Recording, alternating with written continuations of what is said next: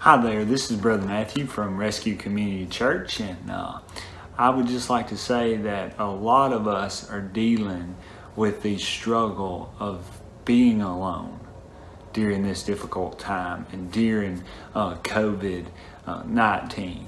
Um, now, most of us have, have never had to be in solitary confinement in a cell in a prison somewhere with bars between us and, and, and other people, preventing us from going outside and enjoying the freedoms of our life. But I think if every single one of us was to be completely truthful, there, some of us are living in a cell, just a cell with bars not made of metal, of, of steel, but a cell uh, with bars made of fear, made of worry, made of, of, of distress, made of regret, made of a, a just a, a sadness over dealing with the, the pain of the consequences of, of our sin. We, we desire joy in our relationships. We want that. But the problem is that, that we've lied and betrayed trust. And so it's, it's, no, it's no longer there, you know um, we look at the state the, the world's in and, and we just wonder, you know, how, how am I going to be able to pay my bills? How am I going to be uh, provided for?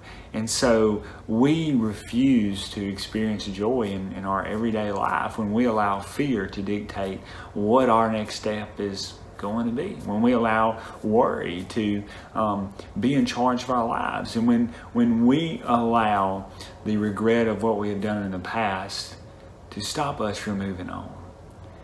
And so it's quite easy to cut through a, a steel bar. But how do you get rid of a cell without metal bars that you can't see? Uh, what, what is the solution to that? How can you and I find joy, find hope, and find peace again, even with all the turmoil that's going on? And so I hope that you will join us as we discuss how we can be alone no more. That even in the midst of COVID 19, in the midst of our sorrow, our failures, our, our mistakes, our fear, how, how can we be alone no more? And how we can find power. Not in anything we know, not in finding all the answers, but how we can find power in the presence of Jesus. And so I welcome you to continue uh, to watch this uh, preview of what's coming uh, this, this Sunday and how uh, the presence of Christ can set you free and allow you to find that joy that you've been searching for in everything in your life.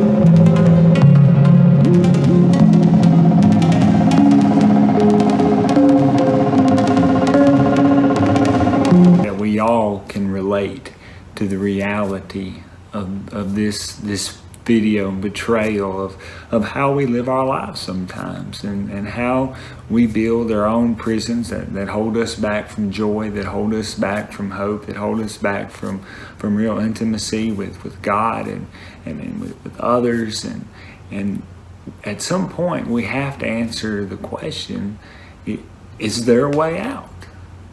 And as you saw in, in that video, um, there was the door was opened. The question is, who is at the door and what are they going to do about it? And that's the question that you and I got to answer is that we, we know the situation that we're in. We know the fear that holds us back. We know the regret that holds us back. But what are we going to do about it? And luckily, there's an answer, there's a Savior, there's a solution. And uh, I look forward to you joining us uh, this Sunday morning at around 10:50 uh, a.m. on our YouTube channel, where we will discover that we don't have to be alone no more, and how we can find power in the presence of Christ. Figuring out who answered the door and who can open the door in our lives.